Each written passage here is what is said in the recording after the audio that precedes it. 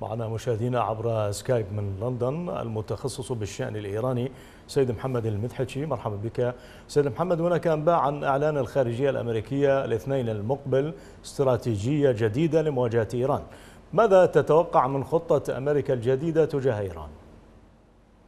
بسم الله الرحمن الرحيم. في البداية تحياتي لحضرتك السادة الكرام. حياك الله. آه كما شاهدنا خلال خطاب ترامب للانسحاب. من الاتفاق النووي فاق آه جميع التوقعات والكثيرون توقعوا أن ترامب آه لهجته ستكون لينة لكنه ترامب أثبت أنه يعني لديه شبه استعجال كبير في حسم الملف الإيراني وفق رؤيته. استنادا بهذا التصعيد الكبير أنا أتوقع أنه الخطة الأمريكية ستكون خطة تصعيدية كبيرة. وحتى تتعلق بالبيت الداخلي الإيراني على سبيل المثال ملف حقوق الانسان فضلا عن الملف الصاروخي والتواجد الإيراني في الإقليم.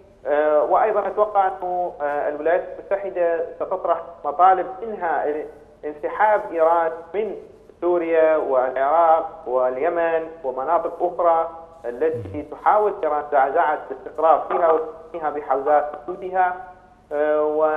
وأيضا هناك ستكون مطالب للانفتاح الداخلي.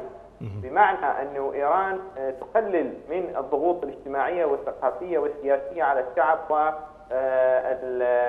والمعارضه الإيرانية الحقيقية وليس ما يسمى بالإصلاحيين أو المعتدلين لأنه هؤلاء أجنحة النظام الإيراني. ولاول مرة سنشهد أن الولايات المتحدة ستكون لديها خطة فعلية حقيقيه ولكن بخصوص الملف النووي هل تعتقد أن الضغط الأوروبي على أمريكا في هذا الملف سيكون له تأثير في الخطة الأمريكية المعلنة؟ يعني أنا لا أتوقع أنه يكون له تاثيرا كما يتوقع يعني تقريبا استطيع القول 90% من المحللين لا يتوقعون أنه الأوروبيين ستكون لديهم موقف سيكون لديهم موقف حاسم لصالح إيران في هذا الملف. على سبيل المثال قبل ثلاثة أيام آه الاتحاد الأوروبي أعلن أنه سيدفع لإيران آه العملة الصعبة من خلال البنك المركزي الأوروبي. نعم. بعد يوم تنازل وقال أن البنوك المركزية للدول الأوروبية ستدفع للبنك المركزي الإيراني.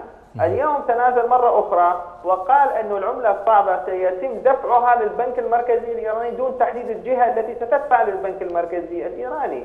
والسبب واضح لأن هو يتعلق بطبيعة النظام المالي الدولي وأيضا الارتباط العضوي بين النظام المصرفي الأوروبي والنظام المصرفي الأمريكي طيب. نظام والنظام المصرفي الدولي يعتمد على الدولار فكل هذه لا تسمح للأوروبيين نعم. أن يذهبوا بعيدا لدعم إيران طيب هذه العقوبات.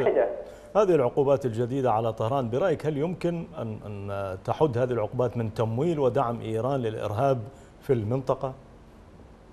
يعني هذه العقوبات ليست ليس فقط ستقطع مصادر أموال إيران لدعم الإرهاب في الاقليم بل ستعزم الاقتصاد المتأزم الإيراني أصلا بشكل كبير لأنه الولايات المتحدة تخطط لقطع تصدير النفط الإيراني واذا تم ذلك يعني إيران تغرق في الورطة الاقتصادية الحالية واساسا الخطاب اللين الذي نسمعه من إيران بعد انسحاب الولايات المتحدة سببه هو هذه العقوبات. يعني إيران تعلم جيدا أنه ولاول مرة بعد 1979 يبدو الإدارة الأمريكية جادة في تغيير الأسلوب الإيراني إن لم يتم إلى تغيير النظام أساسا الذي الآن الحديث بشكل جدي وجون بولتون المستشار الأمن القومي قالها بالحرف الواحد قبل أن يتصدى هذا المنصب أنه إيران نعم. لن تحتفل بذكرى الأربعين لانتصار ثورتها.